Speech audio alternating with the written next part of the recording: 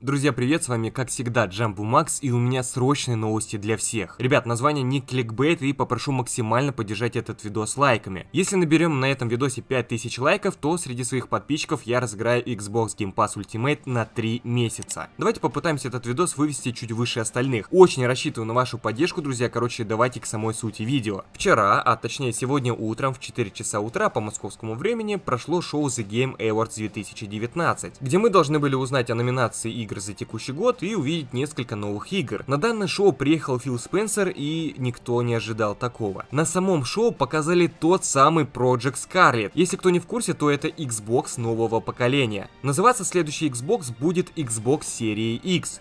Если что, это официально, нифига не слухи, не концепт и нифига не кликбейт. И по сути вы сейчас видите то, что выйдет в 2020 году и будет новым поколением консоли Xbox. Итак, что же нам стало известно о этой консоли? Сама консоль будет выполнена в строгом стиле, что соответствует названию Xbox. Напишите, кстати, в комментариях, как вам дизайн, а то ребята уже мемчики вовсю строгают. Консоль можно будет ставить как вертикально, так и горизонтально, и по отношению с геймпадом консоль выглядит реально габаритно и немножко смахивает на умную колонку. Новая консоль будет консолью нового поколения и будет поддерживать игры всех предыдущих Xbox, как это было заявлено ранее. То есть все игры Xbox Original, Xbox 360 и Xbox One можно будет запустить в новом поколении, то есть на Xbox серии X. Сама консоль будет в 4 раза мощнее Xbox One X и при этом будет очень тихой. По информации сети ее не будет слышно вообще. На самом деле сложно представить, так как ранние консоли не особо-то гудели, а это вообще, видимо, слышно не будет. Обещает полную поддержку 4К с 60 и 120 FPS, а еще поддержку технологии VRR. Также упомянули, что будет возможность поддержки 8К разрешения. Но куда больше, чем 4К, я даже пока не представляю. Помимо этого стало известно, что на борту установлен новый кастомный Next Gen процессор AMD Zen 2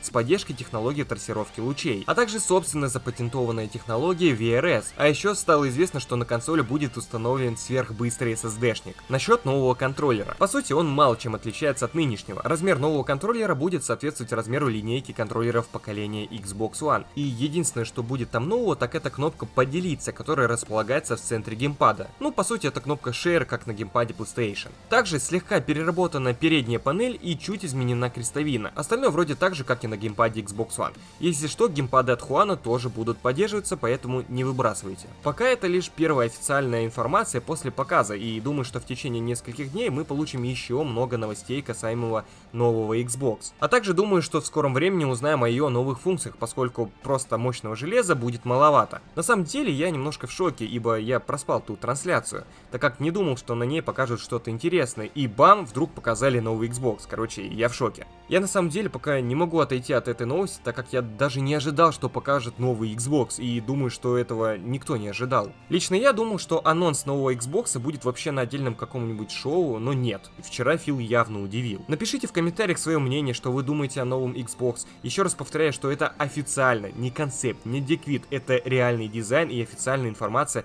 о новом Xbox. В следующих видео я постараюсь держать вас в курсе всех новых событий и обязательно поддержите это видео лайком, подписками и не забывайте нажимать на колокольчик, чтобы ничего не пропустить. В общем, обязательно напишите в комментариях, что вы думаете о Xbox серии X и если вы вдруг что-то интересное еще прочитали, узнали, то тоже напишите об этом в комментариях. На этом у меня все. Большое спасибо за просмотр. До новых встреч.